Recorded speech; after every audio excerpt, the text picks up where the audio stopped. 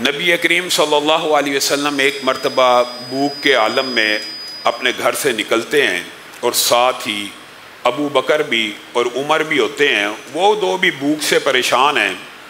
नबी करीम सल्लल्लाहु अलैहि वसल्लम इनको लेके हज़रत अबू अयूब अंसारी के घर में चले जाते हैं।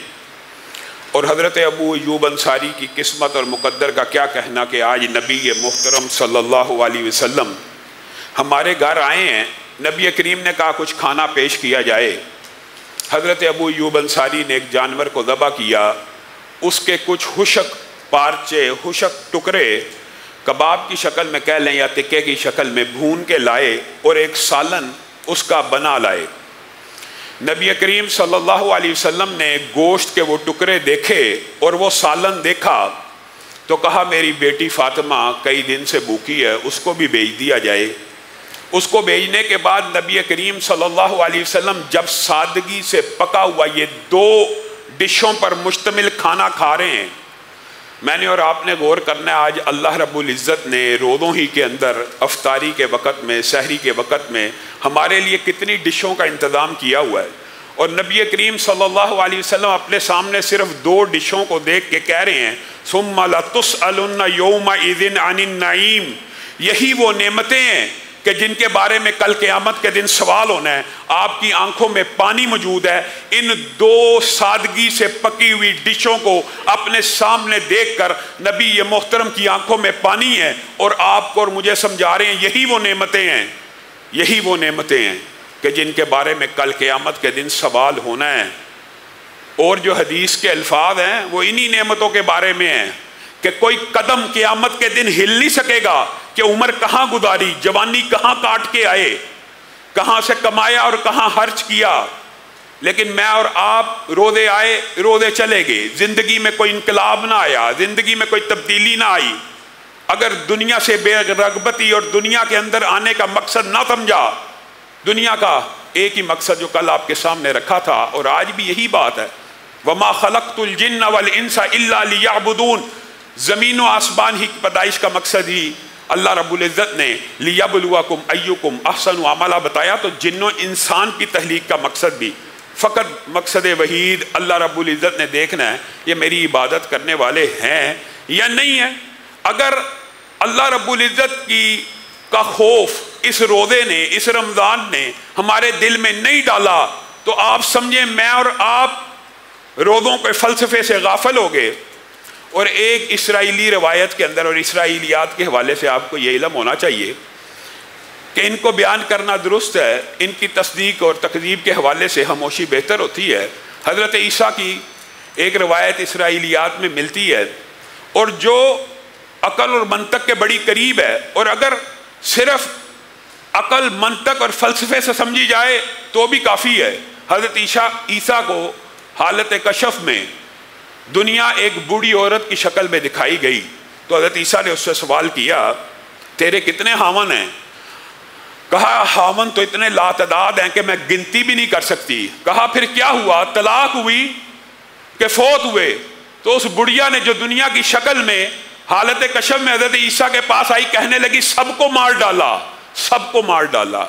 हज़रत ईसा कहने लगे, वो कितने बेवकूफ़ और जाहल लोग हैं कि सबको इलम है कि तूने किसी को बाकी नहीं छोड़ना, लेकिन फिर भी तेरे साथ जी लगाते हैं और तेरे साथ ज़िंदगी बताते हैं और तेरे ही पीछे पड़े रहते हैं। हालाँकि तूने उनमें से अपने किसी एक हामद को भी नहीं छोड़ा। बेवकूफ़ है इंसान।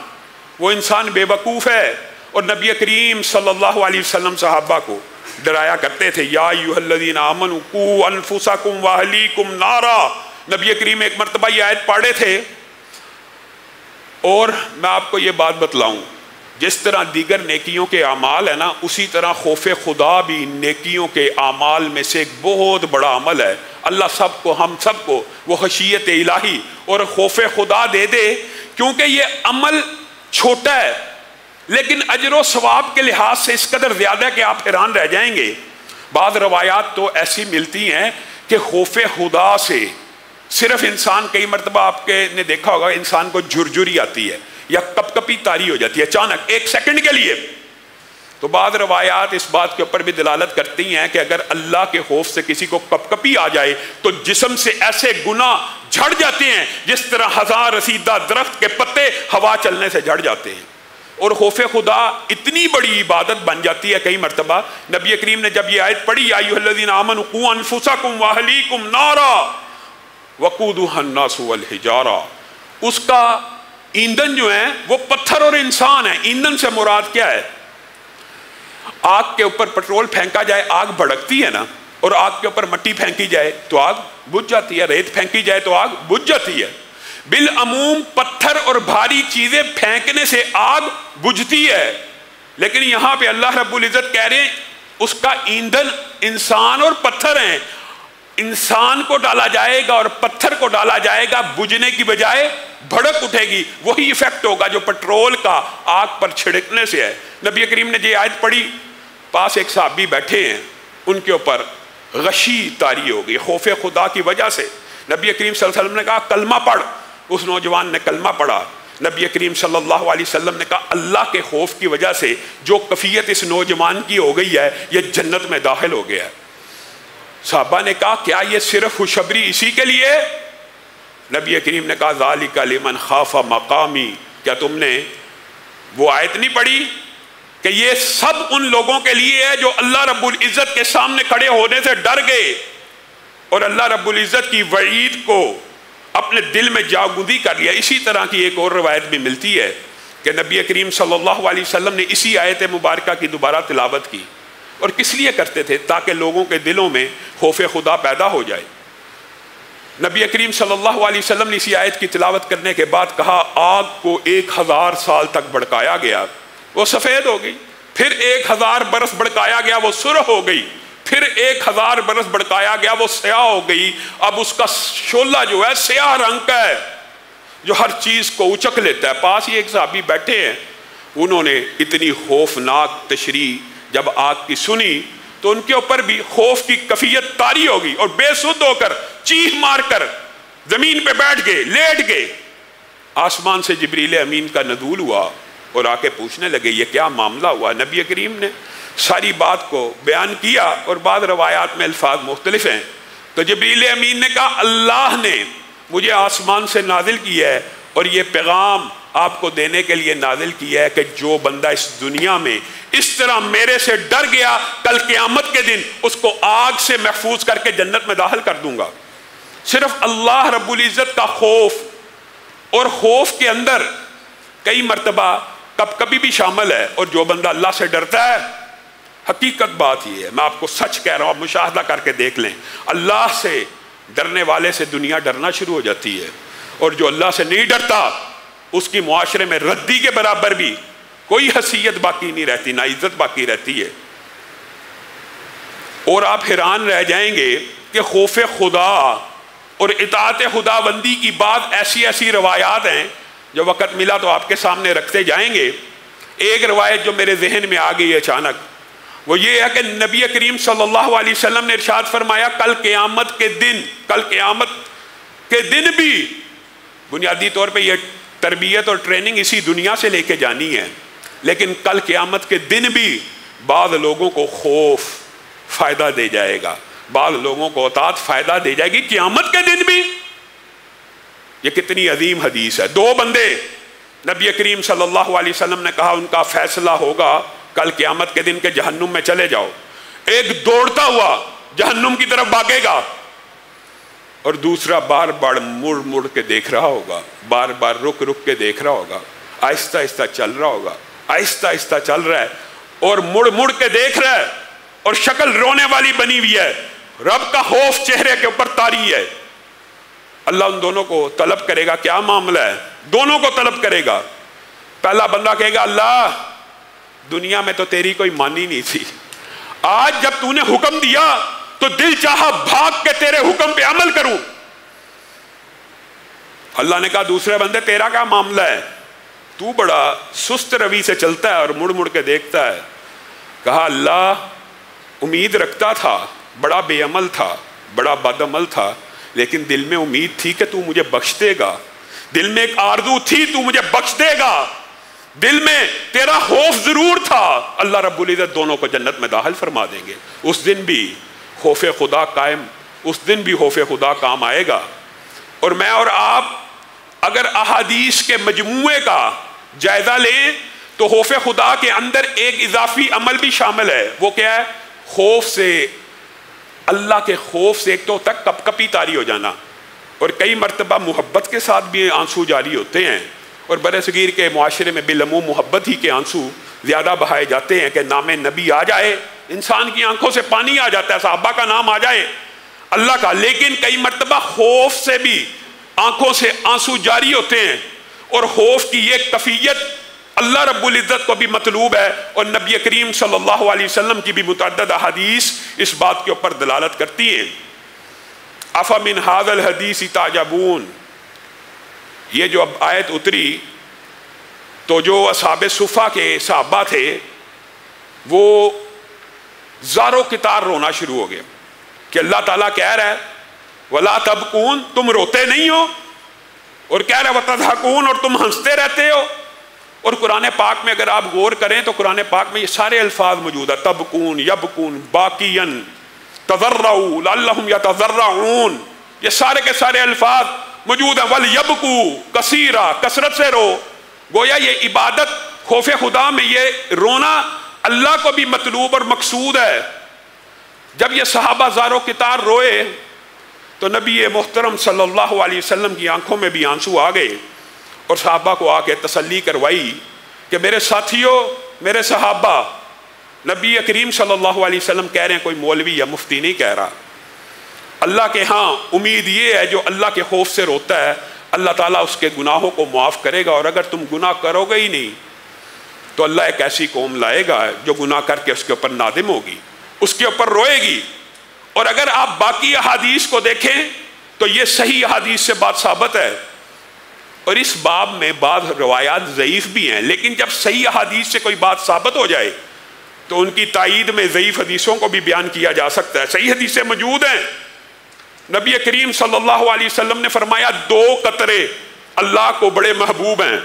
एक खून का वो कतरा जो अल्लाह के रास्ते में गिर गया, मैदान जिहाद में, मस्जिद के लिए नमाज़ पढ़ते हुए, आते हुए, एक्सीडेंट हो गया, खून का कतरा गिर गया, अल्लाह की राह में गिरने वाला खून का कतरा। शायद इसकी सकत तो हम नहीं रखते। जिहाद के ऊपर वैसे पाबंदी है, पूरी दुनिया में जिहाद का कोई नाम ले, मौलवी उसको उठा के ले जाते हैं। लेकिन जो दूसरा कतरा है वो बहाने में क्या उधर माने हैं, क्या चीज़ माने हैं? अल्लाह की कसम कसरत से गिरजादारी नौहा। बल्कि बाद मुहदसिन ने तो यह भी लिख दिया कि हज़रत नूह का नाम नूह इसलिए पड़ा था कि अल्लाह रब्बुल इज़्ज़त की बारगाह में आके जारो कितार रोया करते थे। वो दो कतरे अल्लाह को बड़े पसंद हैं। एक वो कतरा जो खून का अल्लाह के रास्ते पे गिरा और दूसरा जो आँख से निकला, किसके लिए? अल्लाह के खौफ में। और ज़मीन पे गिर गया, और दीगर रवायात के अल्फाज आप सुन के हैरान रह जाएँगे।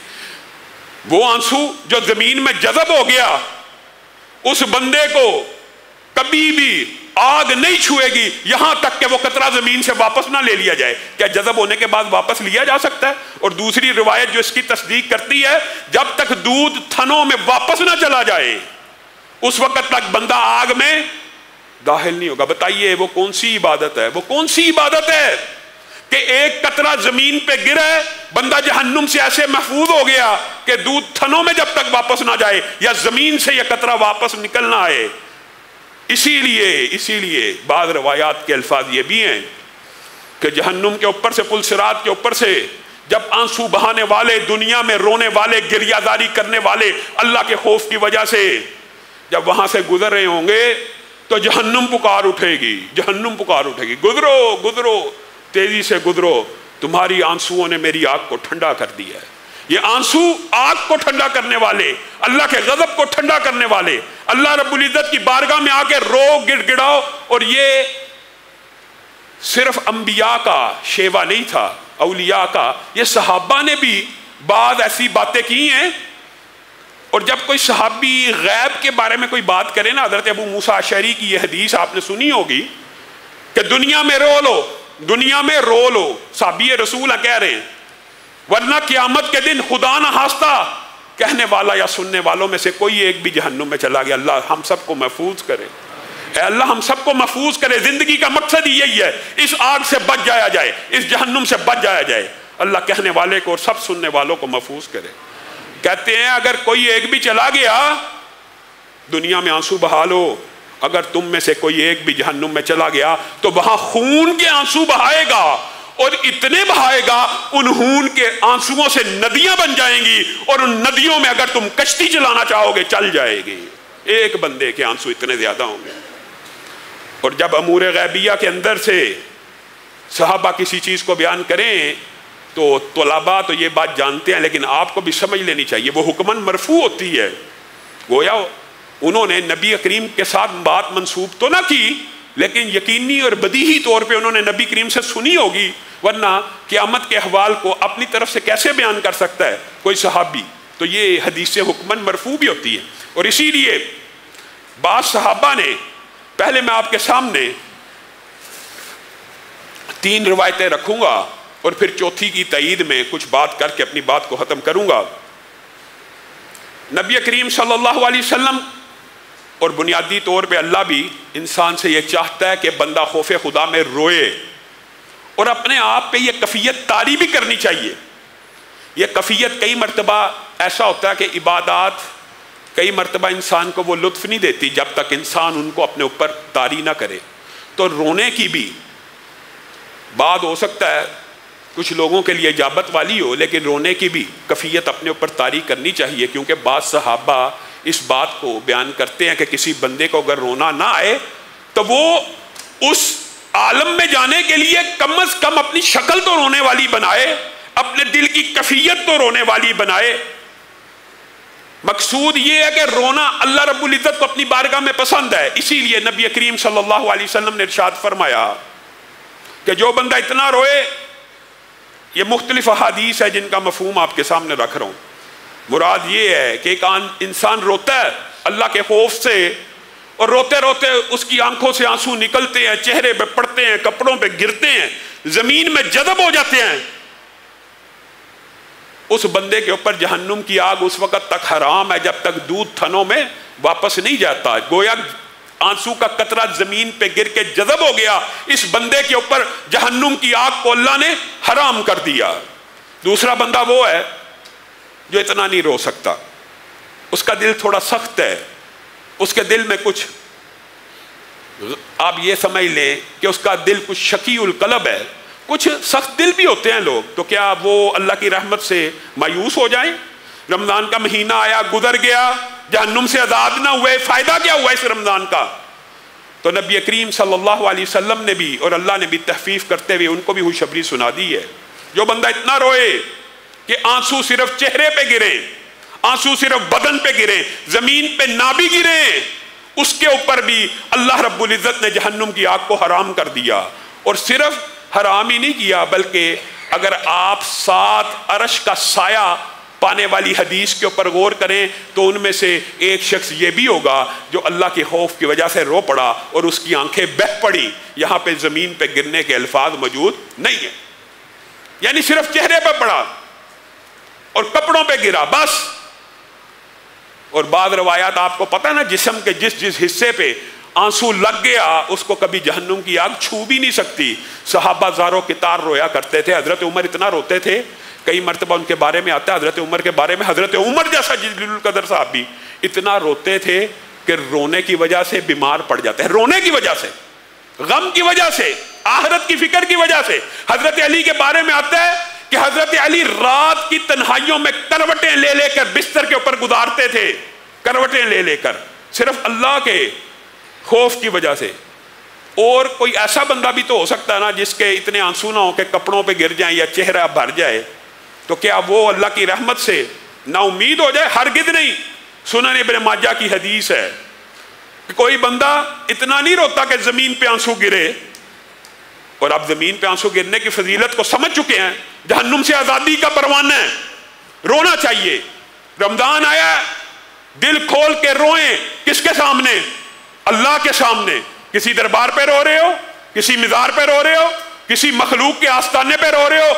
हक है तुम्हारे ऊपर? तुम उस खालक के दरबार में रो, अपनी दिल की तमन्नाएँ उसके सामने पेश करो और खौफ के साथ और उम्मीद के साथ इबादतों को करते रहो।